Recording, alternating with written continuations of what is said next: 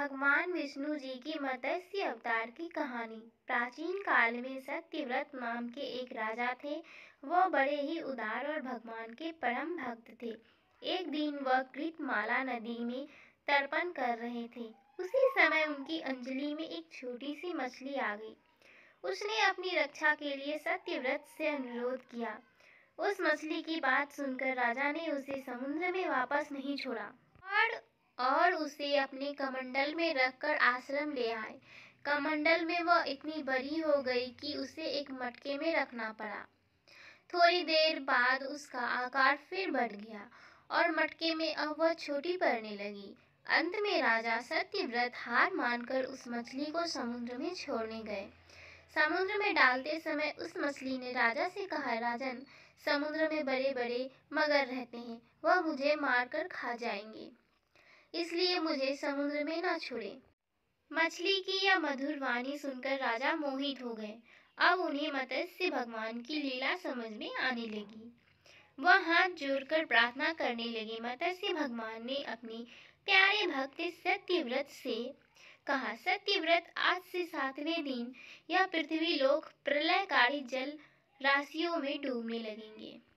उस समय मेरी प्रेरणा से तुम्हारे पास एक बहुत बड़ी नाव आएगी। तुम सभी जीवों, पौधों और अन्य आदि के बीज को लेकर सत्य ऋषियों के साथ उस पर बैठकर तूफ़ान से बचने का प्रयास करना। जब तेज आंधी चलने के कारण नाव डगमगाने लगेगी, तब मैं इसी रूप में आकर तुम लोगों की रक्षा करूँगा। भगवान सत्यव्रत ने यह कहकर अत्यधीन हो गए। अंत में वह समय आ पहुँचा। राजा सत्यव्रत के देखते ही देखते सारी पृथ्वी पानी में डूबने लगी। राजा ने भगवान की बात याद की। तभी उन्होंने देखा कि नौ भी आ गई है। वह बीजों को लेकर सप्त ऋषियों के साथ तुरंत नौ पर सवार हो गए। सप्त ऋषियों की आज्ञा से राजा ने भगवान का ध्यान किया। उसी समय उस महान समुद्र में मत्स्य के रूप में भगवान प्रकट हुए।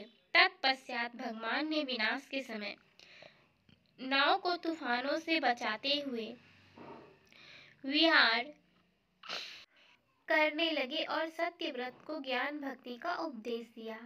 हयग्रीव नाम का एक राक्षस था, वह ब्रह्मा जी के द्वार उत्पन्न वेदों को चुराकर पाताल में छिपा हुआ था।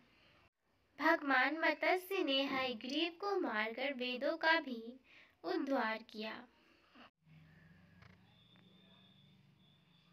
समस्त जगत के परम कल्याण के रूप में भगवान मत्स्य को हम सब नमस्कार करते हैं।